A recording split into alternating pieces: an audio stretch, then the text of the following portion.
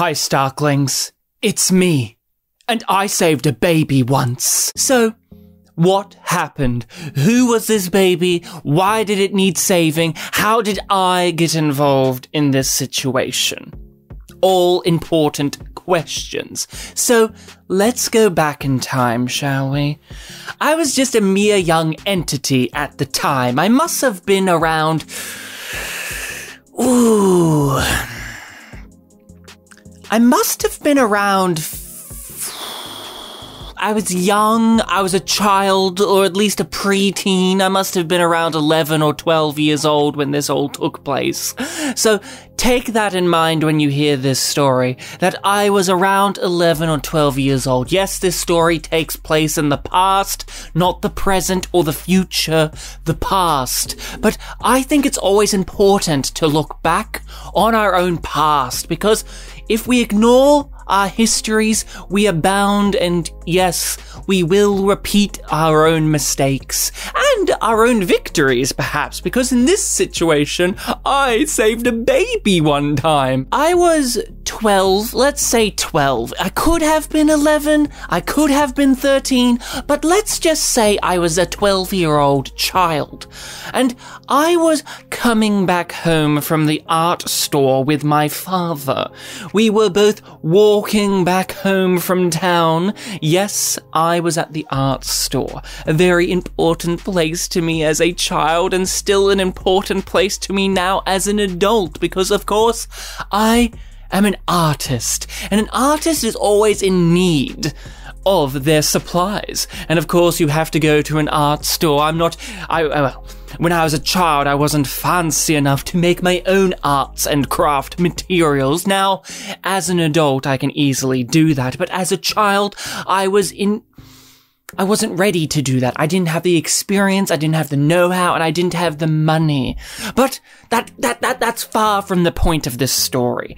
This story is about how I, I saved a baby one time. As I was saying, I was walking back home with my father from the art store. I had my new paints and supply. I had a new shade of blue that I was really keen on trying out. I just wanted to get home straight away, open up this paint and just put it on the canvas and see how that blue would look. See how it would make me feel. But I had to wait. I had to wait and be patient as we went back home. So we toddled off back home, chatting about how this blue would look, what we thought it would look like on the canvas. And before we knew it, our journey was put on a sudden stop when a woman came running up to us, her face red, covered with tears, drenched in her own tears. This woman was crying, she was screaming, she was saying words that I could not understand because of her accent, and that is not me being me being funny or me being judgmental. She had a thick Australian accent, which, yes, as a fellow Australian, I understand our own accent, but sometimes it is even too thick for me to understand, and that's saying a lot. So this woman came running up to us, screaming something incomprehensible because of her accent, and please do not judge her for this accent. Please do not judge her for not being able to be understood by others because of where she grew up and where she was raised and with what accent she was raised with. That is not the point of this story. This is not a story about judgment. This is a story about revelation and redemption. Now that we got all the judgments out of the way, this woman came running up to us saying that she's locked her child alone inside of her own house. So again, please do not judge this woman for leaving her child alone in a house and locked inside, okay? No judgments on the accent, no judgment on the actions of the woman. Okay, we've all made mistakes. We've all had errors. We've all had lapses of judgment before. But do not make a lapse of your own by listening to this story and walking away with a harsh critique of a woman you have not even met. That isn't right. I say, don't judge a book by its cover, judge it by its contents. My father grabbed this woman gently by the shoulders and said to her, What are you saying? What is this about a baby that's been locked inside all alone? We had to take a moment to sit the woman down, make her do some deep, heavy breathing, one breath in, one breath out, to calm her down, to calm her down so that she could talk to us. Yes, she managed to stop crying. Yes, she managed to tell us the information. It took a little while to decipher again because of her thick Australian accent, which was hard to understand. Yes, she was clearly what we would call a bogan, but that is a derogatory term. She is a lower class person, and her accent, yes, reflected that information as well as her appearance. She was wearing flannel after all. Ugh. But let's not look down upon her because of her status in life. This woman locked a baby inside of her own house, accidentally, as we found out. She was just walking outside to check her mail, and the door closed behind her, and it was locked. She couldn't get in. She walked out to the streets. No one was around because it was a Saturday afternoon in a small rural town, so everyone was down at the pub. But that did not deter her from walking around downtown to find somebody, anybody, and thankfully she found us. My father and a 12 year old me. Yes, let's say 12. We walked back with her to her home. It was quite a while away from our own house, so I'm not proud to say, but I was a little bit annoyed. I was being a selfish, arrogant child. I just wanted to go back home and paint. I did not care about this woman and her baby. I couldn't give a rat's about her child because I was ignorant. You've got to remember that I was just a small child at the time. I had just come back from the art store in which we had spent a couple of hours determining which shade of blue we were going to buy and take back home. So my anticipation was highly built up for this shade of blue to put on the canvas and now I had to wait. I had to wait because of a woman that I do not know and she's wearing flannel and she's crying and she's locked a baby inside.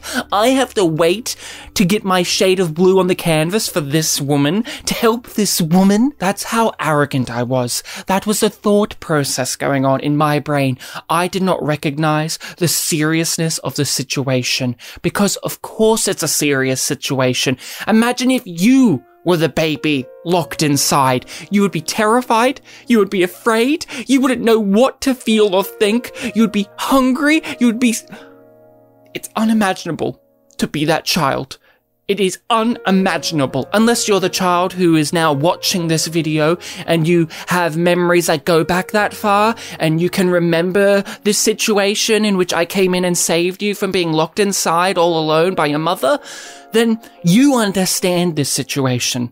But it, other, other than that, other than you being this individual person, this is an unimaginable situation. And me as a preteen child could not put myself in that situation. I could not put myself in that position, and I did not have the empathy. We are all needing to discover our empathy even more than what we currently do. We can always evolve ourselves. We can always adapt and change and grow. And finding more empathy is a great way of doing that. And I was on my journey to do that. So, we eventually got back to this woman's house and I know I said not to judge, but the appearance of the property was. It wasn't art, to say the least. The fence was rusted, some of it had collapsed and fallen down, the mailbox was on a skew, which, you know, in the modern age, uh, a mailbox that is slightly on an angle is actually quite trendy, but back then that was not the aesthetic of the status quo. We looked at that and said, there's been trouble here. There's been a lot of trouble in this household. We walked up to the front yard. We had to wade our way through the lawn because it had not been mowed in quite a few weeks.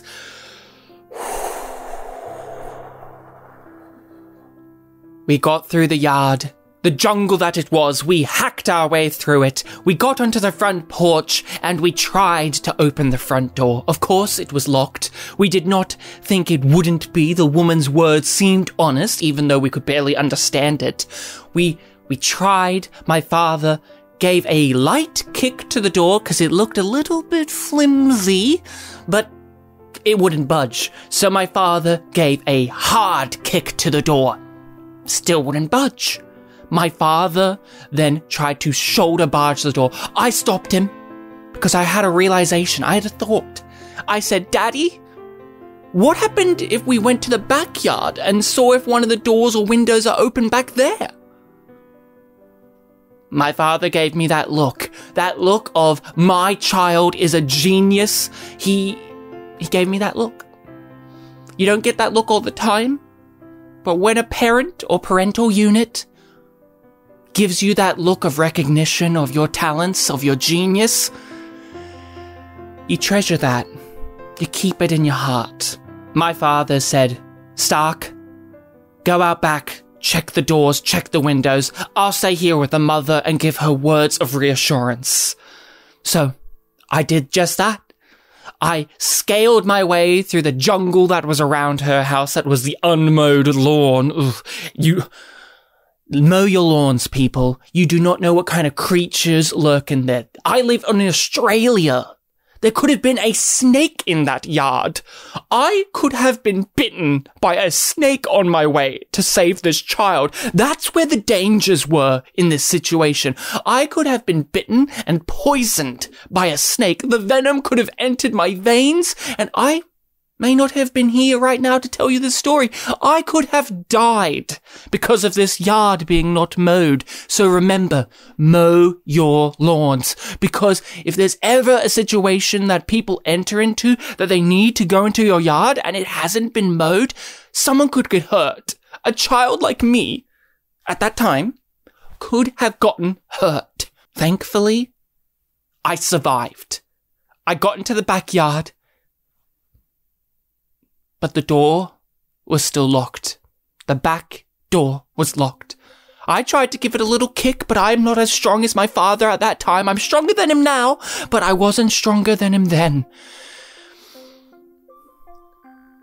I looked around, and I couldn't see anything to help me. Then I had a realization. What about a window?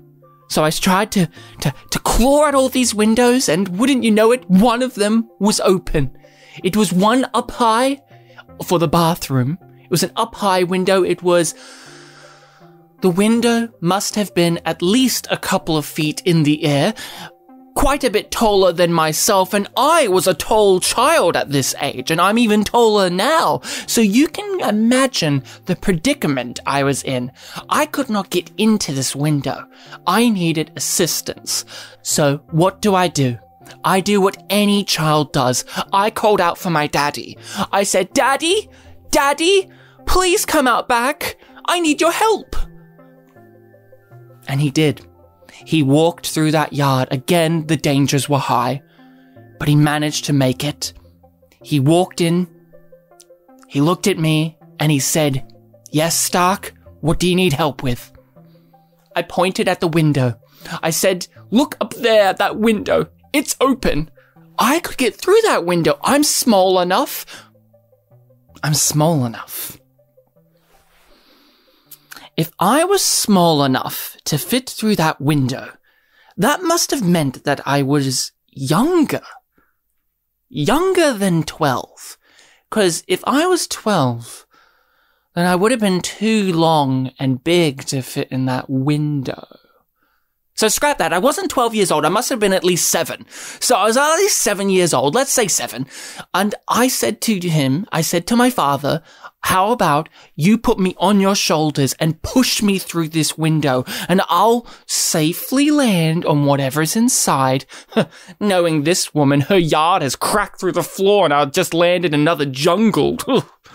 My father, especially at that time, had very strong, broad shoulders. So I was able to perfectly fit on top of them. He hoisted me up I grabbed onto the windowsill. It was filthy. It clearly has not been cleaned or dusted in quite some time, which is again understandable. It's very, very high up, but my hands were covered in filth. So I had to crawl my way up. And I managed to wiggle my way through. Uh, my shirt was filthy after this, which Again, as a child at the time, I was arrogant, I was selfish, I was angry, my nice shirt has now been ruined by some unknown filth. I would be okay with it. I would have been okay with it if it was my own filth, if it was my paints or stuff like that, but this was unknown filth. So I was very annoyed at this at the time. So you can understand where I'm coming from, of course. It's it's somebody else's filth and you're covered in it. Ugh. But I kept having to say to myself, I'm doing this to save a baby. I'm doing this to save a baby. I'm doing doing this to save a baby, and so that it's done, I can go back home and use my blue paint. That's where my thought process was at. Yes, I was young. Yes, I was selfish, but I had not yet had the revelation and realization and redemption that is going to be coming at the end of the story. I jumped down from the windowsill and I landed on top of the sink. I was in the bathroom. I gave a quick surveil around and I couldn't see the baby in there. So the baby was not in the bathroom, thankfully. Imagine if it had crawled in there and it was eating something that it shouldn't. Now that could have been dangerous.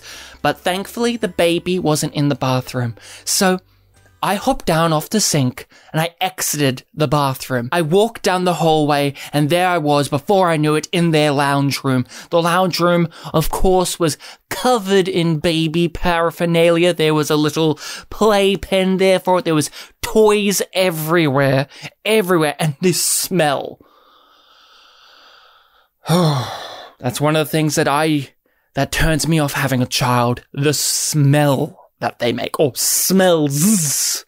Many of them, and all of them unpleasant. I was looking around. I could not see this baby. I looked under the couch, wasn't there. I looked in the kitchen, wasn't there. I heard knocking at the door. Knock, knock, knock, knock, knock, knock, knock, knock. Of course, I replied with, Who is it? Because I am being polite. I'm in somebody else's house. I don't just answer any old door for any old one. I need to know who it is. Of course, Silly, silly, silly. It was the woman. She was knocking on the door saying, let me in so I can get the baby. Let me in, let me in. I didn't even think about opening the door, unlocking the door for the woman to get her own baby. I was just so caught up in the moment that I thought that I could just walk in there and find the baby on my own. And so egg all over my face. I opened the door and the woman went running in, went straight into the baby's bedroom, which I hadn't even noticed. Apparently, I'd walked straight past it. It was just completely, completely in my blind spot. She walked in, looked at the baby, and the baby was still asleep. There was the baby in its crypt, still asleep at that's just amazing. This whole entire time, we had built a narrative in our own brain that the baby was crawling around, eating stuff, getting electrocuted. You know, we were imagining that the baby was in death peril, but it wasn't. The baby was completely fine. It was asleep, enjoying its rest, enjoying its nap, and we did not want to wake the child. Of course, I said check the child's pulse in case of anything, just make sure it's breathing, and of course, the mother said, of course it's breathing. I can see that my baby is breathing, Stark. And, ah, that's how I saved a baby. And I looked at that baby, sleeping there, being so small, being so innocent, it didn't even know that it was in danger at any point.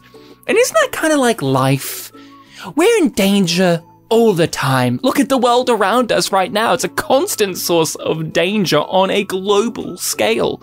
But we go on. We persevere. We live in, in a way, we live in a bubble. We get up in the morning and we could die, but we still get up and we still persevere and we still make progress and we still interact and we still do the stuff that makes us alive, even though the end could come. Because that is a part of the human condition. That is a part of perseverance. And I saw that child there and I realized how selfish I've been how ignorant I've been. I had the revelation that I've been setting up from the beginning of this story. I had that revelation that I had to stop being inherently a selfish person. And then I redeemed myself because when I went back home, I didn't open up that blue paint. I waited to do it until the next day. For you see, I withheld the thing that I thought that I needed, the thing that I wanted. I withheld it from myself. I said, no, you have not earned this blue paint. Yes, you've spent money on it, but you have not earned it. You need to wait. You need to really think about what it is to be a human. What it is to be a fluid artist in a concrete world. As I laid in bed that night, I felt like a baby. Small, innocent, and helpless, yet completely oblivious and unaware of the world around me. It was a sublime feeling, a feeling that I haven't had since, well, since I was a baby myself. This experience of saving a baby really changed my viewpoints on the world. And I hope that me telling you this story has changed your views on the world, has changed you as a person, and has made you see me in a different light. That's the story about how I saved a baby, guys. So if you enjoyed this story, make sure to leave a like, make sure to subscribe, hit the bell as well, and make sure to leave a comment below. Have you ever saved a baby? Have you ever done anything heroic? What is it to be a hero? When you do something heroic, do you feel anything? Do you recognize that you've done something good? Or is it just natural impulses? Let me know. Till then, guys, remember to think of others.